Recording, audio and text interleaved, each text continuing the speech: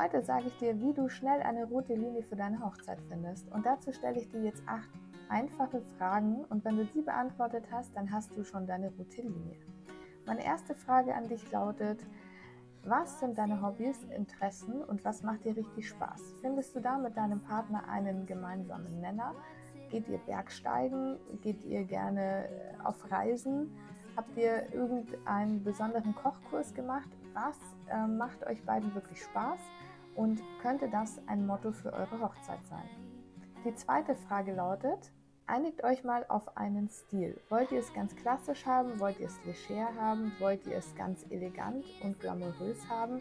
Wie seht ihr euch gekleidet? Wie seht ihr eure Gäste gekleidet? Und auch das kann eine Basis für einen roten Faden sein. Vielleicht habt ihr auch Lust auf eine Zeitreise, wollt irgendwie in den 20er Jahre Look einsteigen und das als rote Linie für eure. Was sind eure Lieblingsfarben? Könnt ihr euch darauf einigen, welche Farben auf eurer Hochzeit vorkommen? Möchtet ihr Cremetöne haben? Möchtet ihr eine knallige Farbe mit dazu nehmen? Blau, rosa, pink, lila, grün. Es gibt ja mittlerweile alle möglichen Trendfarben und auch das kann schon die rote Linie sein. Es muss gar kein Motto sein, es muss auch kein Hobby sein. Eine einzige Farbe, die sich durch alles durchzieht, gibt dir einen roten Faden und etwas, woran du dich ähm, entlanghangeln kannst und worauf du unterschiedliche Aspekte deiner Hochzeit aufeinander auch abstimmen kannst. Dann habe ich noch eine Frage und zwar, zu welcher Jahreszeit wirst du heiraten? Wenn du im Oktober heiratest, wenn du in Deutschland im Oktober heiratest, dann kannst du zum Beispiel schon mal auf Farben wie Rot und Orange zurückgreifen. Du kannst auf natürliche Dekoartikel zurücksetzen, wie Kastanien, ähm, vielleicht auch getrocknete Blumen, das ist auch sehr modern und sehr schön. Und dann hast du auch schon wieder ein Motto gefunden.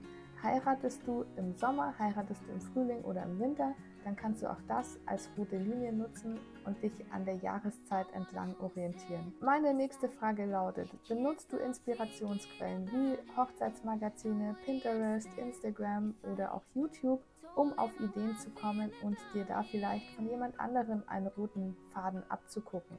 Und mein nächster Tipp ist, Verbinde dich mit deinen Dienstleistern. Falls du schon Dienstleister ausgewählt hast, wie zum Beispiel einen Fotografen oder auch eine Floristin, die ist oft auch ein guter Ansprechpartner für den roten Faden, lass dir doch mal Vorschläge machen, was sie auf deiner Hochzeit anbieten könnte.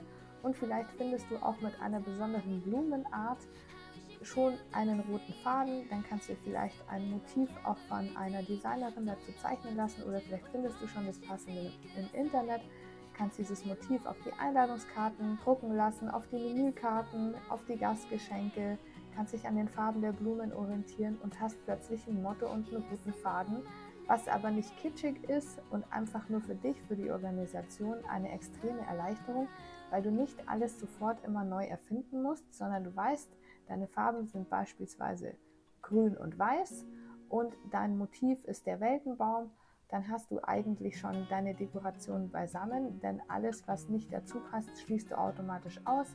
Du musst weniger nachdenken und deine Hochzeit sieht professionell aus. Es macht einen großen Unterschied, ob du an der einen Stelle alles bunt geschmückt hast und an der nächsten Stelle vielleicht nur mit einer Farbe, die Einladungskarte anders aussieht wie die Dankeskarte und die Menükarte anders aussieht wie die Platzkarte und dann hast du einfach eine einheitliche Linie. Es macht dir die Planung wesentlich einfacher und es sieht gleich viel hochwertiger aus. In diesem Video findest du weitere Tipps, die dir bei deiner Hochzeitsplanung helfen.